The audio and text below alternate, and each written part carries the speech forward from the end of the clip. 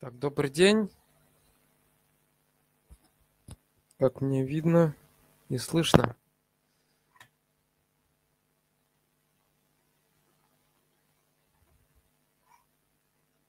Так, здравствуйте. Да, все вроде работает.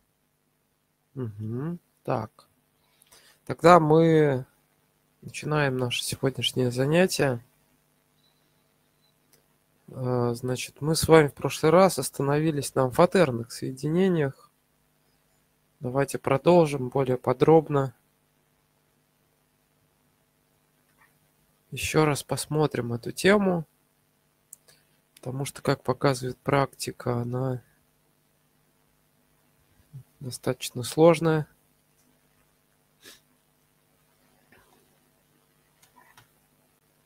Так, вот наша презентация.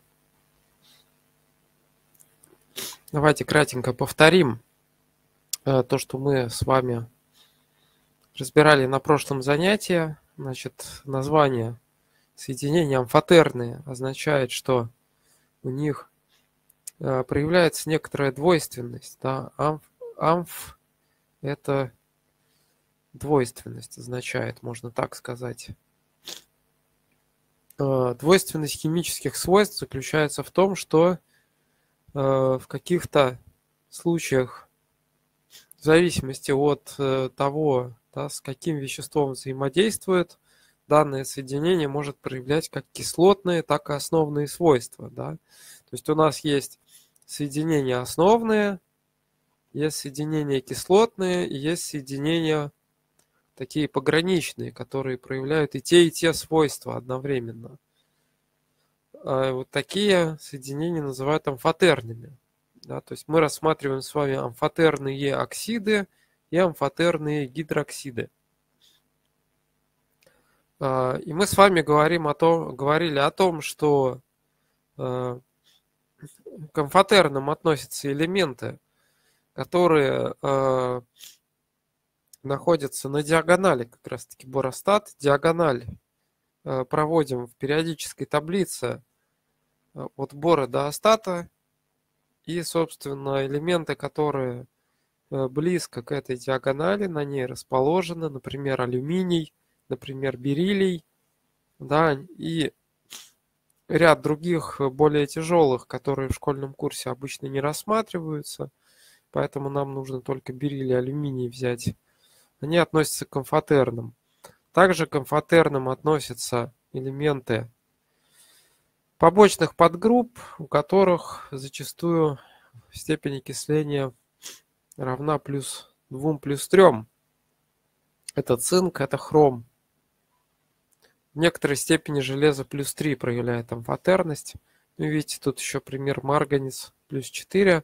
Но э, нам в школьном курсе нужно знать хотя бы 4 амфотерных элемента. Это абсолютный такой минимум бериллий, цинк, алюминий, хром.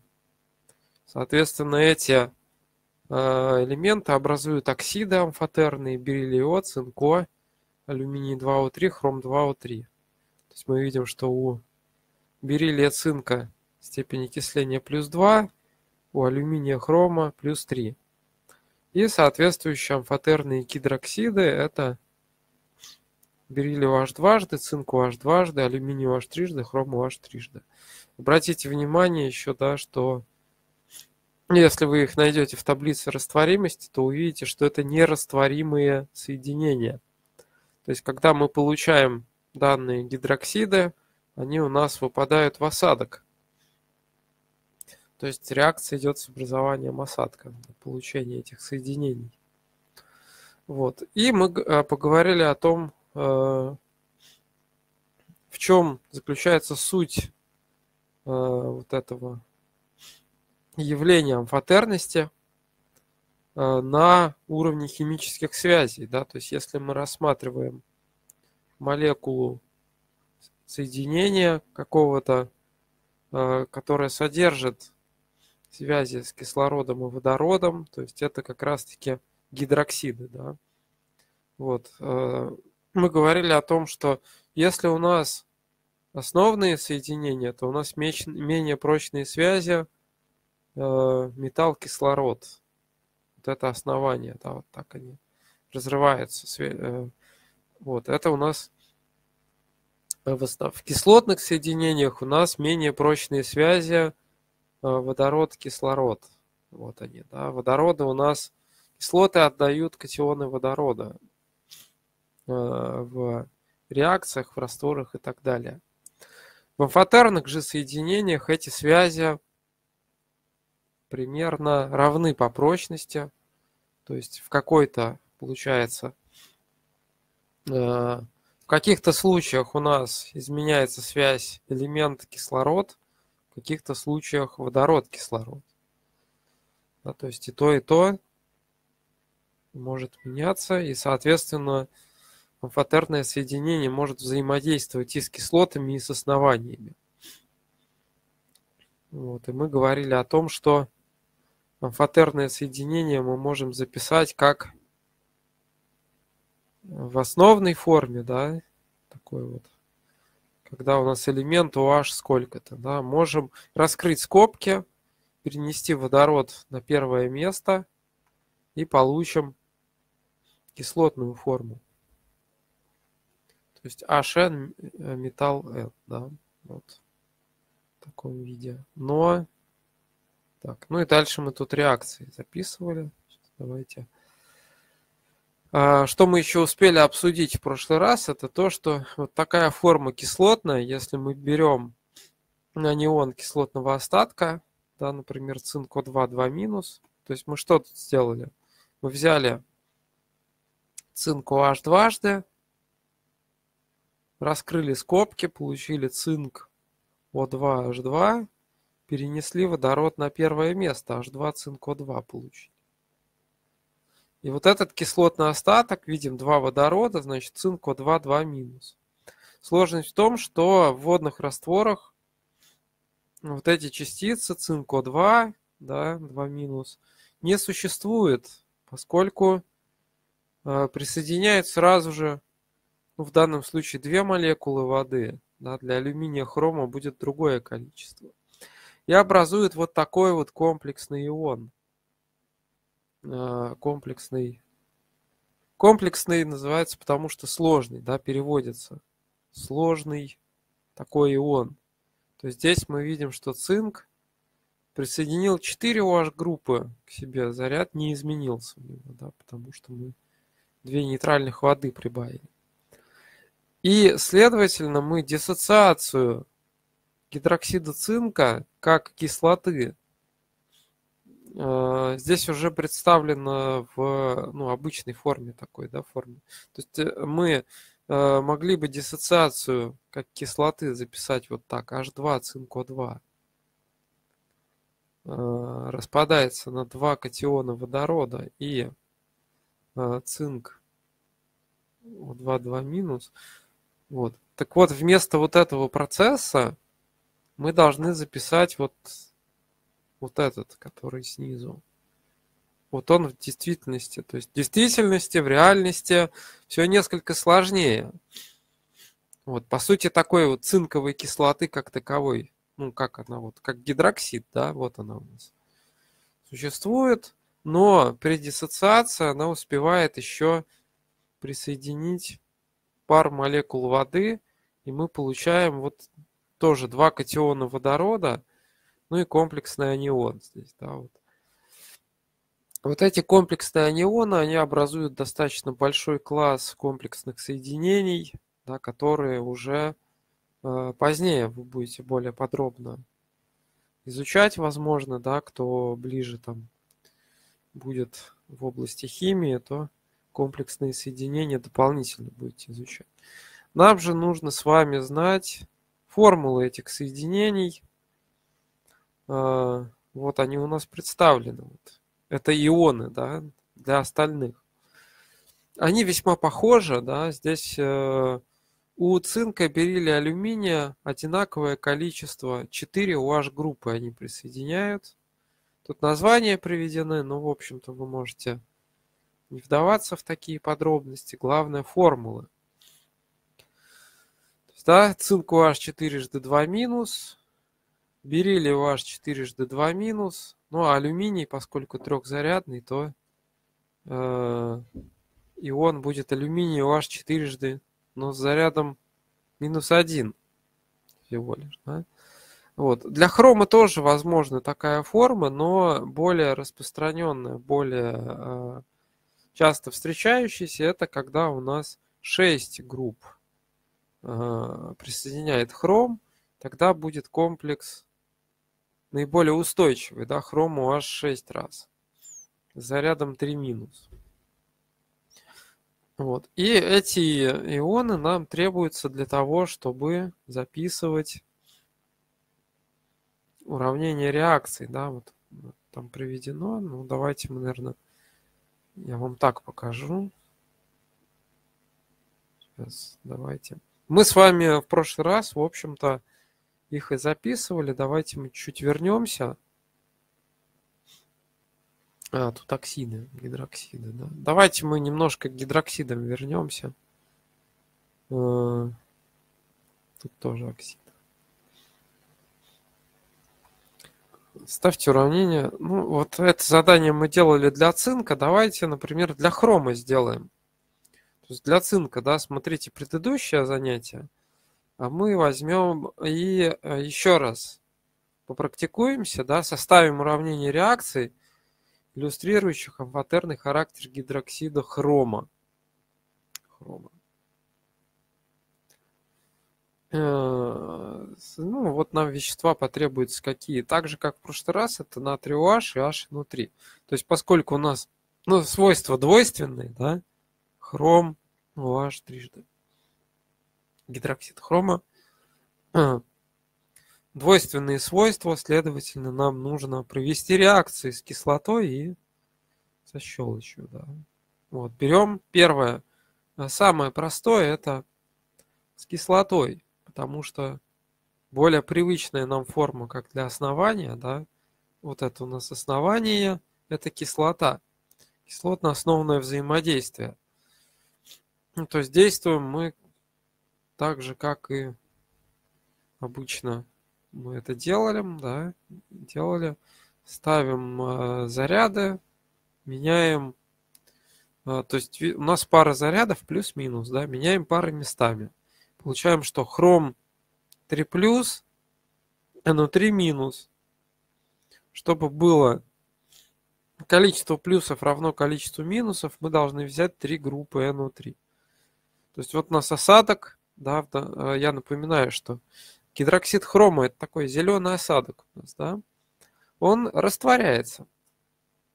То есть мы будем наблюдать растворение осадка. Вторая пара HOH, это вода, H2O. Расставляем коэффициенты и три воды нужно. Да? И вот реакция готова. Если появляются вопросы, то пишите в чате, мы, я отвечу на какие-то вопросы. А, если мы хотим еще сокращенный ионный вид написать, давайте мы это сделаем, то здесь сократятся внутри группы, потому что нитрат хрома растворим. Давайте я краткий ионный вид сразу запишу. Хром, OH трижды не распадается, потому что это осадок. Да? Кислота сильная, она распалась, и мы сократили, то есть в сумме сделали равным нулю, и внутри группы. Здесь у нас хром 3 плюс и 3 воды. То есть вот что у нас происходит. По сути, катионы водорода, да, ваш группа от хрома отщепляет. И получается вода. То здесь как раз вот та схема, да, вот у нас хром, и у него связь металл-кислород. Так, не, не тот я написал элемент. Металл-кислород, изменяется тут связь. То есть, да, по сути у нас катион водорода здесь. А сейчас, сейчас, да, вопрос вижу. Катион водорода тут подходит, и вот образуется новая связь и он забирает вашу группу. А плюсик переходит на хром, потому что каждая черточка это пара электронов. Вот пара электронов переходит на образование связи. Почему мы здесь сократили NO3? Потому что у нас а, плюс 3 НО3. И здесь плюс 3 НО3 должны были написать. Одинаковые слагаемые мы переносим в левую часть с обратным знаком, и они у нас дают 0 в сумме. Поэтому мы их можем не писать. Я для... Ну, я так и сделал. Так, надеюсь, ответил на вопрос. А, теперь это у нас основные свойства. Теперь у нас кислотные свойства. Как у нас ведет себя гидроксид хрома, если у нас раствор щелочи. Я здесь сразу хром. Сразу, да, я тут напишу. С раствором щелочи натрий OH. То есть что нам нужно здесь сделать? Нам нужно вспомнить, а, какой, какой комплекс образует. Где у нас тут табличка была? Так, что-то я потерял. Вот. Хром у нас образует формулу хром OH6 3 минус. Да, вот. Вот этот анион нам нужно взять если мы проводим реакцию с раствором. Так, возвращаемся. То есть, поскольку, да, я даже подпишу раствор. То есть у нас анион хром OH6. Да, хром 3 плюс остается. Здесь был 3 плюс. То есть реакция без изменения степени окисления. OH минус 1, 6 OH групп, значит все 3 минус. И натрий плюс мы ставим, натрий плюс. И формула получается натрий 3 хром OH6. А, уравниваем, нам нужно взять 3 натрия OH. То есть вот здесь легко достаточно уравнять. И а, получается, что опять-таки осадок у нас был, и он растворился. То есть мы видим, что добавляем кислоту к осадку, он растворяется, добавляем щелочь, касатку, он тоже растворяется. Давайте запишем также ионный вид. Как здесь у нас будет выглядеть. То, ну, здесь я не буду в уме ничего сокращать, да, чтобы было понятнее. Хром H6 это осадок, значит мы пишем точно так же.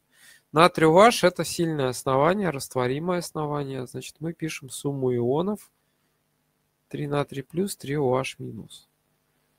И вот эта комплексная соль, она растворимая, да, потому что распадается на ионы натрия, натрий плюс, и а, вот эти комплексные ионы, хрому H6, то есть вот, вот эти вот конструкции, они весьма прочные, а, и э, в таком виде существуют. Мы видим, что здесь одинаковое слагаемое, это 3 натрия. Переносим в другую сторону от знака равно, и они в сумме дадут 0. И останется у нас хром OH трижды плюс 3 OH минус, да, получается. То есть мы видим, что в щелочи у нас хром э, присоединяет 3 OH группы. И получается у нас вот комплексный ион. Э, так. Ну, если есть вопросы, то тоже пишите вопросы. А, но это еще не все, да, потому что мы брали раствор натрий OH. А что будет, если мы возьмем сухой безводный натрий OH и при нагревании да, проведем взаимодействие с гидроксидом хромом? Пойдет ли у нас реакция? Оказывается, пойдет. То есть мы должны еще второй второй вариант, да, можно учесть. То есть у нас хром хром OH трижды плюс натрий OH сплавление. Сплавление. А, либо ставим температуру здесь. Да. Вот. И вот здесь как раз-таки мы должны посмотреть, какой кислотный остаток у нас дает то есть мы должны переписать хрому H трижды в кислотную форму, то есть выносим водород на первое место, получаем H3 хрому 3, плюс 3 минус. И вот этот водород мы замещаем на катион натрия. Получаем натрий 3, хромо 3. Да, вот такую соль и H2O. Но вода улетучится в виде пары и не успеет с этой частицей прореагировать. 3 и 3 да, у нас получается. Вот, то есть э, вот такая вот реакция при сплавлении проходит. И э, сразу, да, предупреждаю, что э, часто путают эти два процесса, то есть э, наиболее часто встречающаяся ошибка, что предлагают написать э, реакцию в растворе, а ученики пишут вот такую формулу натрий 3 хромо 3, причем не только в школе, но и на первых курсах вуза, да, вот такие заблуждения встречаются. А, поэтому я вот подробно вам весьма так рассказал. Что можно еще здесь э,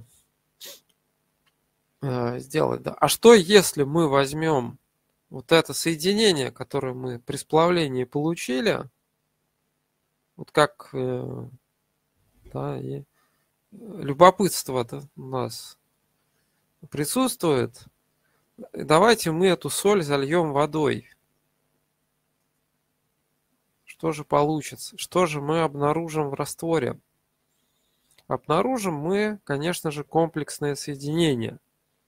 Да, то есть мы вот то же самое, что в э, нашей э, реакции, которая была ранее, да, хром у вас 6.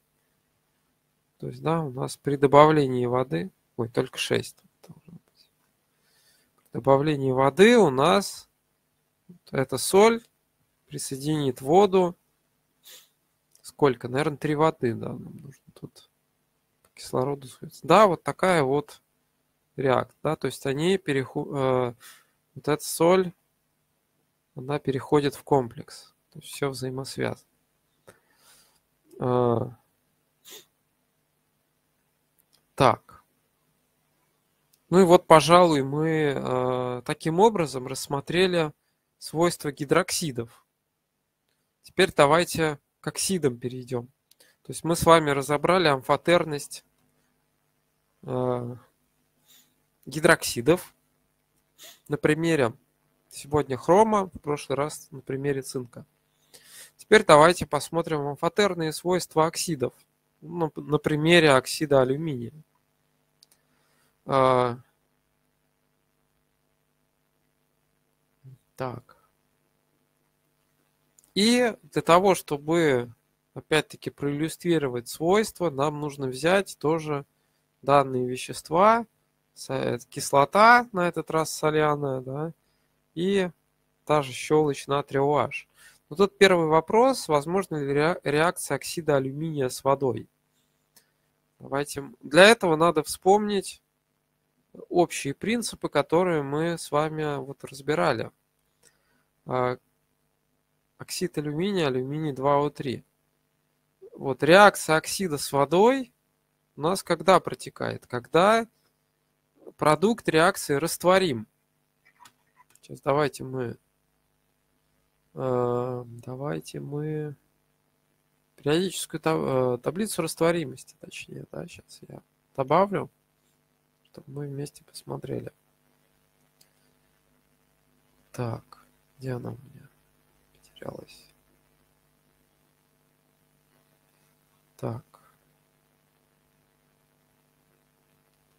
Таблица растворимости.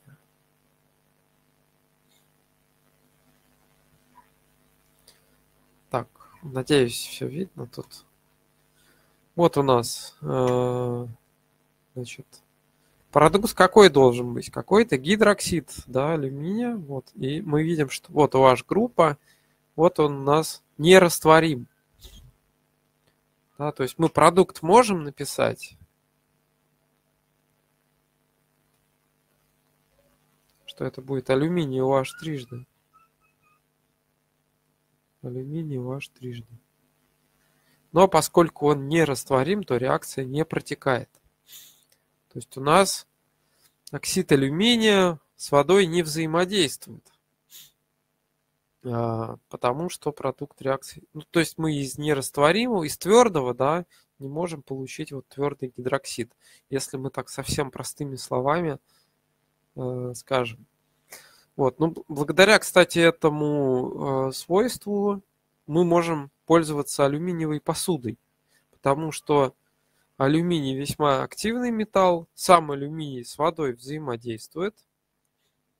Э, и мы посмотрим даже сегодня, я думаю, э, ближе к концу занятия. Но поскольку у нас на воздухе алюминий сразу же окисляется с образованием оксидной вот такой пленки. Оксидная пленка это очень тонкая и прочная и а, покрывает весь алюминий и защищает металл от внешних воздействий. Поэтому мы можем использовать вполне безопасно а, алюминиевую посуду, а, поскольку эта реакция не протекает.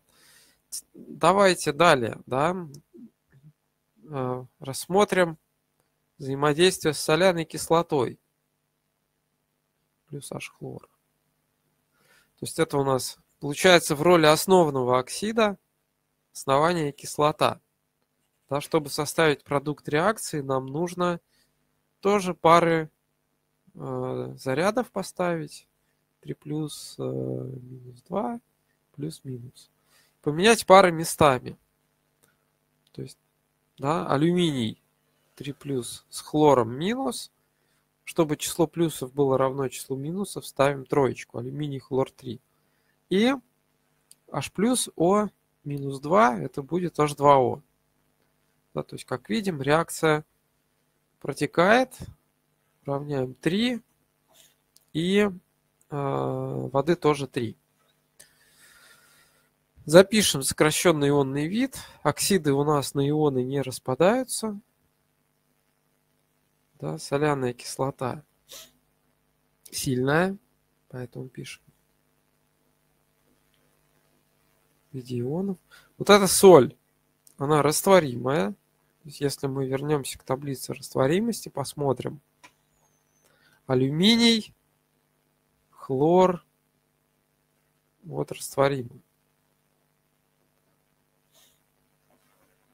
Ну и так, возвращаемся. Соответственно, мы будем записывать в виде ионов, суммы ионов, да? Алюминий 3 плюс и 3 хлора минус. И 3 воды. Вода на ионы не распадается. Одинаковые слагаемые у нас хлор. И сокращенное ионное уравнение получится алюминий 2О3 плюс 3H плюс э, равно алюминий 3 плюс и 3 воды.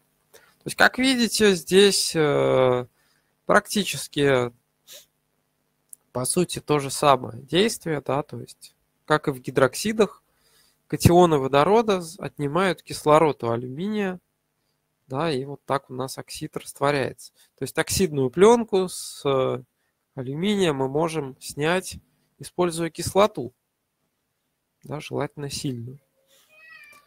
А, теперь мы посмотрим, можно ли щелочью снять эту пленку. Алюминий 2О3 плюс натрий OH. И здесь у нас снова э, два варианта возможно. Если мы берем раствор натрий OH и если мы берем сухой натрий OH и сплавляем какого мы начнем? Ну, давайте сплавление сначала сделаем. Сплавление. А, получается та же соль, натрий. Ну, обычно пишут натрий алюминий О2. А, давайте я поясню, почему такая соль. Дело в том, что вот если мы гидроксид алюминия, опять-таки, здесь вот преобразуем. Был алюминий H трижды, потом сделали H3 алюминий О2, О3 точнее. H3 алюминий О3 по идее должен быть у нас, да? Но а, при сплавлении у нас высокая температура, и вот это соединение часто отщепляет воду. То есть мы должны отнять H2O, как в столбик, да, как мы это делали. Тогда мы получим H алюминий О2. Вот, H плюс, алюминий О2 минус, следовательно, соль будет алюминат натрия э, состава алюми... натрия алюминий О2. Вот, и что, вода еще, да? В виде пара у нас будет э, испаряться. Уравниваем по алюминию 2 ставим, по натрию 2 ставим, ну и вода у нас э, одна. Вот. вот при сплавлении оксидов со щелочью образуется алюминат и вода. А если мы с э, раствором щелочи проведем реакцию алюминий 2О3 плюс натрий OH, то есть мы как-то подействуем щелочью, да, и а, так, понадобится ли нам вода здесь? Вот в чем вопрос. Ну, посмотрим. Если что, я тут место оставлю. А, тогда, если раствор если раствор, то образуется комплексное соединение. Да, можно вот вспомнить, какой ион, да, алюминий OH четырежды, вот у нас алюминий OH четырежды минус один. Вот нам нужно с катионом натрия составить данную соль. Так. Э то есть получится натрий, алюминий, OH четырежды. Да, плюс-минус, тут все сходится. А, так, ну и по водороду, скорее всего, нам что, потребуется вода, наверное, да? Сейчас давайте начнем уравнивать и воду добавим. Значит, по алюминию 2 оставим, по натрию ставим 2. Видим, что здесь водородов 8, а тут только 2, значит вода нужна. Добавляем H2O. Сколько нам воды понадобится? 6 штук еще, да, водородов. То есть 3 воды. Ну и по кислороду 3 плюс 3 это 6 плюс 2 8. Здесь 2 на 4 8. Вот все сходится, да, то есть при взаимодействии раствора щелочи у нас опять-таки оксид а, будет растворяться и получаться соль. Давайте запишем ионные уравнения тоже, да. А, оксиды не распадаются на ионы, алюминий 2О3. Натрий OH, сильное основание, растворимое, да? 2 натрий плюс, 2 OH минус. Вода не распадается, 3H2O. И наша комплексная соль, она распадается на то, что за квадратными скобками стоит. Вот так, таким образом. Мы здесь можем только убрать слагаемое 2 на 3 плюс. Переписываем все, что осталось. Алюминий 2О3 плюс 2OH минус плюс 3 воды Э, получаем комплексную, комплексный ион. Алюминий OH четырежды минус. А, 2 я пропустил двоечку. Так. Вот таким образом, да, мы проиллюстрировали амфотерный характер гидроксида, ой, точнее оксида алюминия, да, что он растворяется в кислотах, он растворяется в растворах щелочей, он у нас э, взаимодействует с расплавом щелочи. Да, вот таким образом. А, ну, давайте еще немножко продолжим. Так, вроде мы все проиллюстрировали. Ну, если есть вопросы, то пишите. Э, помимо того, что у нас взаимодействуют оксиды, гидроксиды с кислотами и щелочами, у нас также сам металл, как простое вещество, амфотерные металлы, А тут еще оксид цинка есть у нас, так что мы еще пример сделаем. Давайте еще на примере алюминия, да, мы и других металлов э, посмотрим, что они растворяются. Есть у нас тут слайдик? Нету слайдика. Мы тогда его сделаем.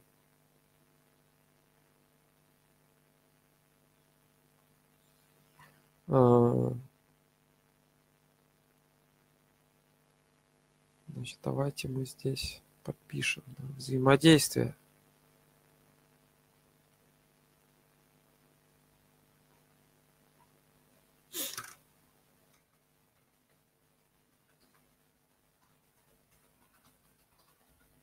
паттернах кислотами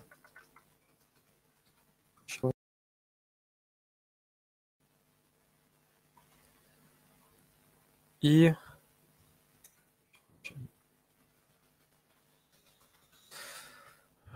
а, то есть у нас э,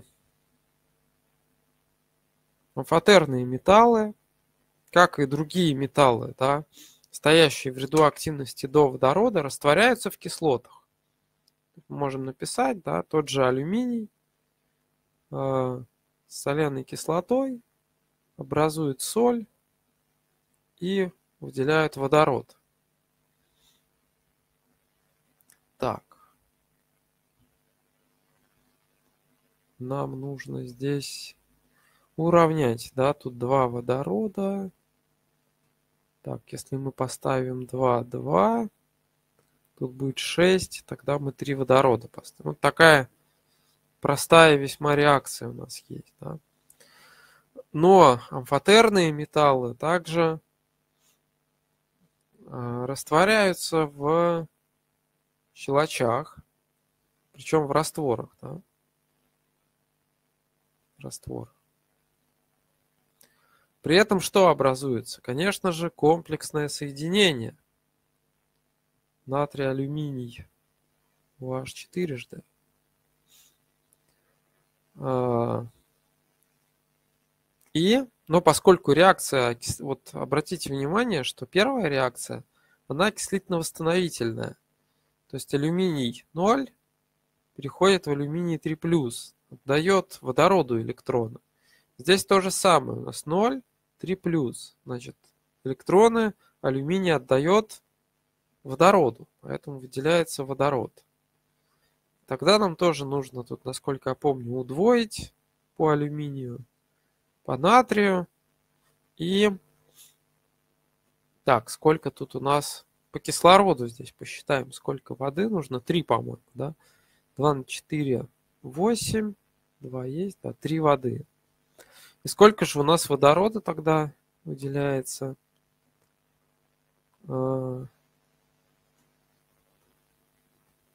6, 7, 8. Тут уже 8 есть. Так, странно, подождите сейчас. Что-то у меня... А, у меня... Так, тут неправильно, видимо. 8. А, 2 есть. 6 нужно, да? 6. Тогда здесь водорода 12, 14. А здесь 8. То есть 6, 3. 3 вот водорода еще должно быть. То есть как э, мы видим, что при обработки раствором щелочи у нас алюминий тоже будет растворяться. Вот, то есть получается э, как раз таки, что вот я говорил о том, что алюминий защищен оксидной пленкой, но мы видим, что если мы действуем раствором щелочи, то у нас и оксид алюминия растворяется, и сам алюминий растворяется. Да? Поэтому, возвращаясь вот к алюминиевой посуде, э, мы видим, что ее лучше щелочными растворами, сильно щелочными растворами не мыть, особенно при высокой температуре, поскольку можно протереть там до дыры буквально, да, какую-нибудь кастрюлю. А, можно... Такие случаи, вот, говорят, бывали, что старательная хозяйка, натирая посуду содой, а, у нас э, получалось до дыры, да, можно протереть, поэтому с алюминиевой посудой ее мытьем нужно быть внимательным, да, с химической точки зрения. А, так. Есть ли вопросы? Да, пока возможно пишите. Давайте еще повторим вот тут на примере, на примере оксида цинка. Сделаем. То есть у нас достаточно много тут э, реакций уже было примеров, так что я надеюсь, что тема более или менее понятная. Если она более или менее понятная, то можно огонек нажать. Тогда э, мне нужно понять, да, как, как тут нужно ли объяснять подробно. Так, не очень много огоньков. Ну, давайте на примере еще оксида цинка. Цинко. То есть это, если мы его рассматриваем как основной оксид, то нам нужно провести реакцию с кислотой. Вот у нас кислота представлена здесь H2SO4. Берем H2SO4, это кислота. Здесь у нас реакция ионного обмена, скажем так, да, 2 плюс минус 2 а, плюс 2 минус. Вот, то есть меняем пары местами, получаем цинк СО4 плюс H2O. Да, и проверяем, какие тут коэффициенты вроде не нужны тут. Да, все один к одному. Записываем ионный вид. Оксид на ионы не распадается, кислота сильная, поэтому сумма ионов сульфат цинка растворимая соль. Можете проверить, сверить таблицы растворимости. Вода на ионы не распадается. Одинаковые сульфаты ионы убираем. Получаем цинко плюс 2H+. То как видите, неважно какая кислота, от кислотного остатка ничего не зависит.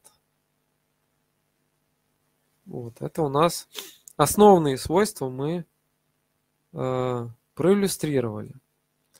Теперь кислотные свойства. То есть оксид цинка как кислотный оксид. Кислотный оксид. Значит, взаимодействуем со щелочью. Например, сплавление. Сплавление. Температура. Да? То есть нам нужно взять наш гидроксид цинка, перенести водород на первое место и взять вот этот кислотный остаток, цинку 2. 2 минус с натрием, да? Натрий плюс. А, так, здесь плюсик лишний. Натрий 2, цинку 2 получится. Цинку 2. Плюс H2O в виде пара. Ставим 2 натрия OH, вода 1 вот у нас, а, поскольку реакция не в растворе, то а, ионного вида нет. Ну и второй вариант, если мы с раствором натрий OH, раствор, то есть тут потребуется вода нам, то тогда мы смотрим, какой комплексный ион образует. Вот у нас, мы его уже видели. Цинк OH 4 жд 2 минус. С ним мы должны составить соль. На, натриевая соль, да, вот это комплекс. Натрий 2, цинк OH 4 жд. Так, и уравниваем. Да, 2 по натрию. Э, здесь водорода 4. Здесь 4, кислорода 4, здесь у нас тоже 4. То есть вот так получится. Пишем ионный вид. Цинко так и остается. 2 натрия OH распадается на 2 катиона натрия, 2 OH группы. Вода не распадается. Здесь же у нас 2 катиона натрия и вот этот комплексный анион цинк OH четырежды с зарядом 2 минус. Одинаковые у нас тут слагаемое это натрий. И переписываем все, что цинк О плюс 2OH минус плюс H2O. Получаем цинк OH четырежды 2 минус.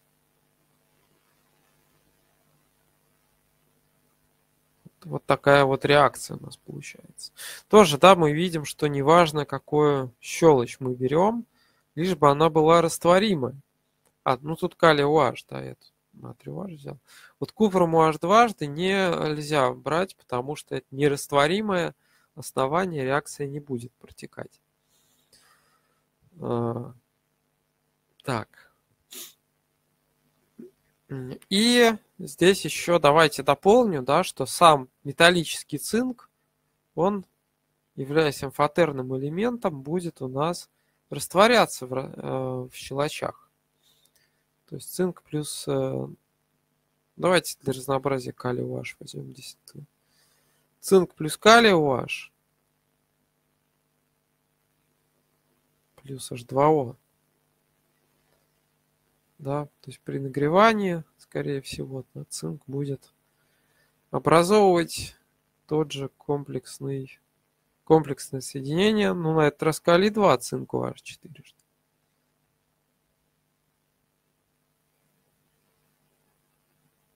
Таким образом. А, уравниваем, да. А, и водород, конечно, выделяться, поскольку тут уже меняется степень окисления. Цинк 0, цинк 2 плюс, то водород будет выделяться. Уравниваем 2 калий OH Значит, по кислороду нам нужно взять 4, чтобы было. 2 воды. Водорода у нас 4. Здесь у нас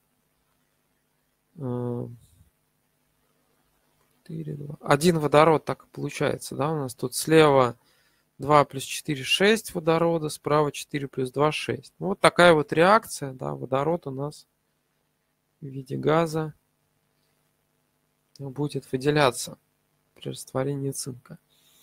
А, и таким образом мы а, с вами тему амфотерных соединений, я думаю, что весьма подробно рассмотрели.